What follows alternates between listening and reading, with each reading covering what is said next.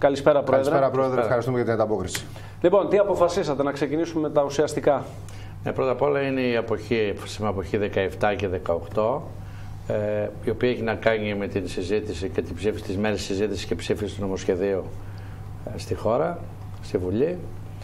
Ε, εν συνεχεία να προσβάλλουμε τις ε, πράξεις κανονιστικές που θα βγουν αμέσως μετά την ψήφιση του νόμου, όπως κάναμε και με τον κύριο νόμο και τις ε, κανονιστικές πράξεις κατά το ΕΦΚΑ. Ήδη συζητείται δύο έκτου μεταναβολή στο Συμβούλιο της Επικρατείας η προσβολή των πράξεων αυτών στο, κατά το ΕΦΚΑ.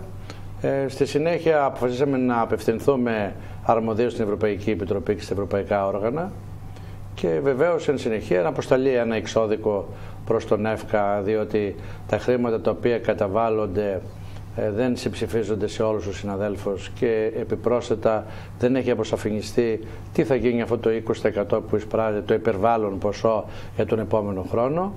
Υπάρχει ένας φόβος ότι αυτό το ποσό θα απολυστεί. Καταλαβαίνετε λοιπόν ε, για χρήση ενδεικτικά θα σας πω το πρώτο τετράμινο έχει εισπράξει ο ΕΦΚΑ περίπου 10 εκατομμύρια ευρώ μπροστά. 10 εκατομμύρια ευρώ. Ναι, ναι.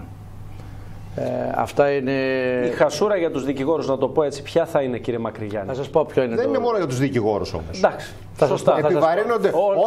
Όλες οι εφαρμογές επιβαρύνουν τον, σωστά. τον πολίτη, έτσι. Το πρόβλημα, το πρόβλημα ξεκινάει από το εξής. Όταν ε, ε, έγιναν οι εκπτώσεις στο 50% για ένα, για ένα πετύχαμε για τέσσερα χρόνια ε, στον υπολογισμό των ασφαλιστικών εισφορών ε, και ανάλογα με την κατηγορία νεότερη, παλαιότερη κτλ. Ε, υπήρξε, μια, υπήρχε εκεί σε εκείνο το σημείο μια διαβεβαίωση από την κυβέρνηση ότι θα γίνονται συμψηφισμοί ότι καταβάλλεται, διότι 20% ο κλάδος του οικονομικού το προκαταβάλει στο γραμμάτιο προκαταβολής φορών με τη συζήτηση υποθέσεως. Αν λοιπόν με βάση αυτά που μας είχαν πει το ποσό αυτό, αυτά που στην ελληνικά κάθε μήνα έχει καλύψει την, ε, την, την εισφορά που έπρεπε να καταβάλουμε, θα ήταν μηδενικό. Αυτό καταρχήν δεν συμβαίνει στο μεγαλύτερο ποσοστό ναι. των συναδέλφων. Το πρόβλημα είναι το εξής τώρα. Φορολογικά τι σημαίνει. Είπαμε πλέον με την καινούργια διάταξη όπως εισάγεται με τις τροποποιήσεις που γίνονται, με το παρόν νομοσχέδιο, πλέον απροκάλυπτα ε, εμφανίζεται αυτό που λέγαμε, ότι είναι φορολογικό το νομοσχέδιο και ότι το νομοσχέδιο δεν είναι ασφαλιστικό. Πλέον, όταν λοιπόν τις ασφαλιστικές εισφορές που μπορεί να είναι 4 και 5.000 ευρώ δεν τις αφαιρέσεις από το εισόδημα, τότε αυτό προσθέτει στο, στο εισόδημα, το ύψος του εισοδήματος, φορολογήσει γι' αυτό, ενώ δεν έπρεπε να φορολογήσει, πρέπει να είναι έξοδα, και βεβαίως σε ανεβάζει σε, σε ασφαλιστική εισφορά, διότι με βάση ακριβώς το ποσό αυτό υπολογίζεται ο φόρος. Αν δηλαδή κάποιος έβγαζε, δήλωνε 10.000 καθαρά mm -hmm. και ήταν 5.000 οι ασφαλιστικές του εισφορές. Πλέον δεν θα υπολογίσουν οι ασφαλιστικές εισφορές στις 10.000, δηλαδή το 34% στις 10.000, 3.400, αλλά στις 15.000.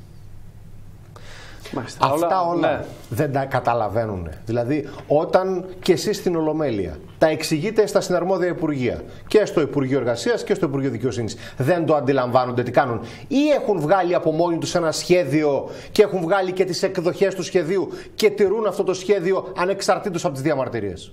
Εγώ έχω την αίσθηση ότι ούτε κανένας τους πρότεινε αυτή τη συνταγή. Ήταν σκέψη του κ. Κατρούγκαλου ναι. και αυτό το οποίο λέγαμε ότι δεν θα μπορέσει να βγει αυτό με τις παραδοχές που κάνει και χωρίς αναλογιστική μελέτη, φάνηκε στο εξάμεινο, φάνηκε η στέρηση 400-500 εκατομμυρίων πρακτικά. Γι' αυτό ήρθαν και κατήργησαν πλέον ε, την δυνατότητα να το περνάς ως έξοδο, άρα ουσιαστικά αυτομάτως μιλάμε για μια φορολόγηση επιπλέον 12-13% αν το υπολογίσει κάποιος το σύνολο. Και εκεί που ήμασταν στο 70 λέγαμε περίπου έχουμε φτάσει στο 82-85%. Δεν μπορεί να επιβιώσει κλάδος με 85% φορολόγηση. Τώρα, με βάση τη λογική αυτή όπως συνεχίζουν, ότι πάλι θα έχουν στέρηση, είναι δεδομένο ότι υπάρχει στέρηση, ε, θα βρεθούμε στο εξής. Από την ενημέρωση που είχαμε χθες, η μεγαλύτερη πιθανότητα είναι αμέσως το επόμενο διάστημα, μετά από 6 μήνες, να καταργηθούν οι εκπτώσεις. Άρα, αν απολυθούν και εκτός το 50% ή εκτός το 50% στην επόμενη τετραετία στον υπολογισμό των ασφαλιστικών εισφορών πάνε στο 20 ή μηδενιστούν, καταλαβαίνετε γιατί μιλάμε. Δηλαδή, εκεί που θα ήταν 4.500 υποχρέωση θα γίνει 9. Μάλιστα. Ε, Δεν Αδιέξοδο. νομίζω. Είναι απόλυτο αδιέξοδο. Είναι Αδιέξοδο βέβαιο, περιγράφεται, πρόεδρε. είναι βέβαιο και βεβαίως, εάν δεν συμβεί αυτό, το επόμενο το οποίο μένει είναι να υπολογιστεί, να υπολογιστεί πλέον ο υπολογισμός των ασφαλιστικών εισφορών στα, με βάση τα αντικειμενικά κριτήρια, με βάση τα τεκμήρια. Καταλαβαίνετε λοιπόν ότι πλέον τουλάχιστον οι δικηγόροι τους οποίους εκπροσωπώ, αλλά φαντάζομαι όλοι οι κλάδοι που έπρεπε να σκέψουν μεγαλύτερη προσοχή σε αυτό, αλλά δεν το κάναν όταν έπρεπε, όταν εμείς ήμασταν 10 Τώρα μήνες είναι στον αργά. δρόμο. Τώρα είναι αργά βεβαίως. Αυτό λοιπόν που έχω πει είναι το εξής.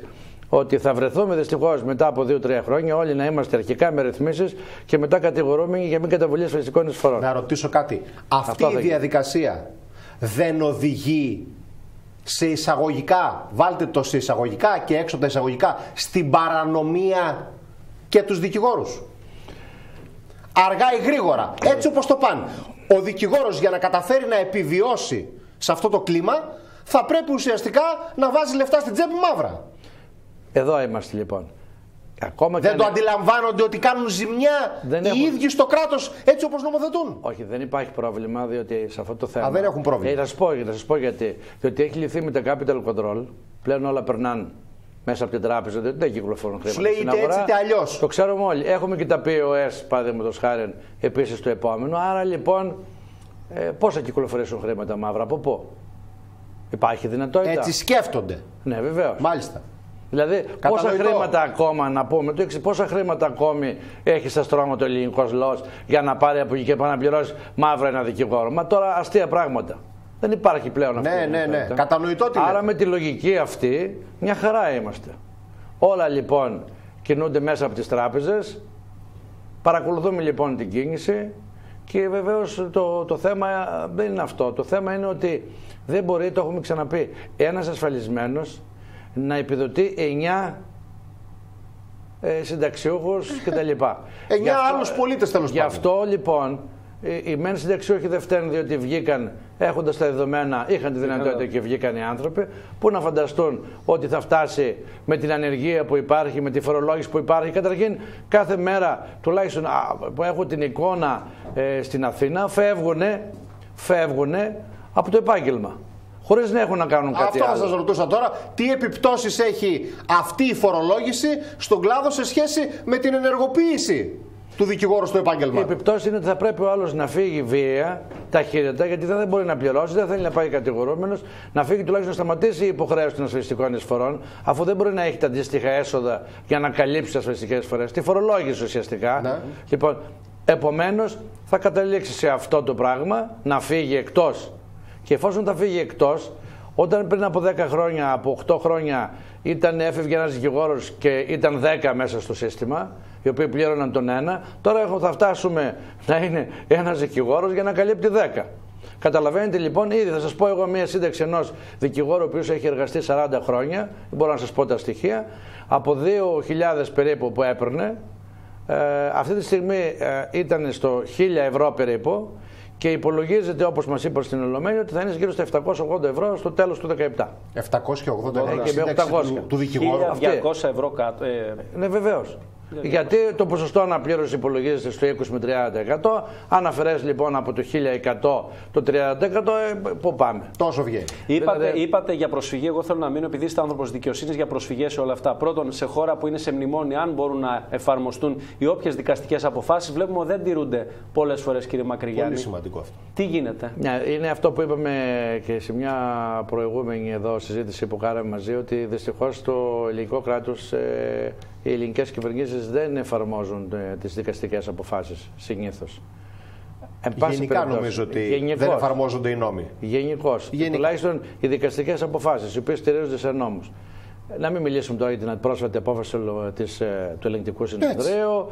Είδαμε κάποιου σήμερα στο δικαστήριο από το Δήμο, κάποιους εργαζομένους εκεί, οι οποίοι δεν μπορούν να Βεβαίως. πληρωθούν, διότι επέστρεψε πίσω. Θα ακολουθήσει και από το ρεπορτάζ, 22 βεβαίως. κτλ. Όπως καταλαβαίνετε λοιπόν, υπάρχει μια πολύ μεγάλη δυσκολία σε αυτό. Δυστυχώς ε, νομίζω ότι θα πρέπει να αλλάξει γενικά μέσα από το Σύνταγμα ο τρόπος λειτουργίας της εκτελεστικής εξουσίας να είναι άλλο εκτελεστική και άλλο νομοθετική κατά την άποψή μου για να μπορέσουμε να μιλήσουμε. Δεν μπορεί αυτός ο οποίος ε, ε, νομοθετεί να είναι αυτός που ο ίδιος ο οποίος ε, προτείνει, ο ίδιος ο οποίος εκτελεί, ο ίδιος ο οποίος ψηφίζει και ούτω καθεξής. Ε, αυτή την άποψη έχω και νομίζω μέσα από εκεί θα αλλάζοντας και οι θεσμοί θα αλλάξουν και τα πράγματα. Δεν Α, έχουν κλειδώσει όμως τώρα. Α πάμε λίγο και σε όχι σε ένα ματαιόδοξο.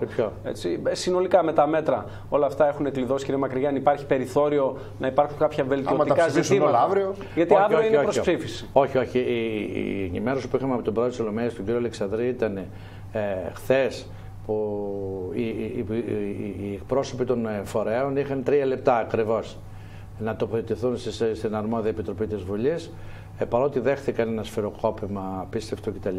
Ένα προς ένα τα άρθρα, ε, δεν υπάρχει κανένα ενδιαφέρον. Ε, δεν θα αλλάξει τίποτα. Θα ψηφιστεί ως έχει. Μάλιστα. Άρα δηλαδή ε, θα πορευτούμε όπως είναι. Έχουμε, έχουμε ναι. τις λέξεις που μάθαμε τις αγγλικές, τα prior actions. Δεν τα ξέραμε, τα μάθαμε. Ναι. Δηλαδή, εφόσον έχουν συμφωνήσει σε τεχνικό επίπεδο ότι πρέπει να γίνει αυτό, άρα δεν μπορεί να αλλάξει τη Βουλή. Είναι προπόθεση να υπογραφεί αυτό για να εκταμιευθεί κάτι, να εκταμιευθεί μία δόση, οτιδήποτε. Άρα δεν πρόκειται να αλλάξει, να γίνει καμία ε, αλλαγή στη Βουλή και άλλωστε δεν άκουσα και ο ίδιος σαν πολίτη κάποια αλλαγή, κάποια παρέμβαση ουσιαστική ή κάποια τροποποίηση. Εγώ δεν ξέρω αν ρωτήσατε συναδέλφους σας που είναι και βουλευτές συνολικότερα στην Ελλάδα, κύριε Μακρυγιάννη, πώς θα ψηφίσουν αυτά τα μέτρα; Κανονικά, όπως ψηφίζουν και οι άλλοι που δεν είναι δικηγόροι. Να τους ρωτήσετε οι ίδιοι. Επειδή γνωρίζουν και τα προβλήματα. Είναι απίστευτο. Είναι... Δεν ξέρω πώς θα έρθουν μετά να ασκήσουν τη δικηγορία. Γιατί ε, είσαι βουλευτής σήμερα, αύριο δεν είσαι. Έχει συμβεί και στο παρελθόν. Το έχουμε δει πολλές φορές αυτό. Μάλιστα. Λοιπόν. Και να περνάει στα πεζοδρόμια και να μιλάει καλημέρα άνθρωπος. Εξαιτίας των όσων έχουν γίνει. Έχουμε κοντή μνήμη γενικώς. Γενικά. Αυτό είναι αλήθεια, κύριε Μακριένη. Λοιπόν, ευχαριστούμε πάρα πολύ. Καλού αγώνες. Να είστε καλά. Καλό βράδυ.